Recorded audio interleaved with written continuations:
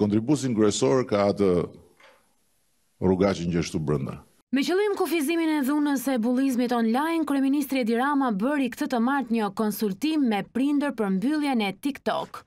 Ideja për të ndaluar TikTok-un, Snapchat-in si dy platforma që janë problematike është një ide që ne e kemi diskutuar gjatë prej kohësh, jo sot. Nuk është zgjidhja e problemeve, por është një element që mund të na sjellë në një ë ngushtim të rëndësishëm të hapësirës online që nxit dhunën, bullizmin edhe budallëkun. Kreu i qeverisë paralajmëroi gjithashtu edhe shtimin e masave të monitorimit në shkolla me akses nga vetë prindërit.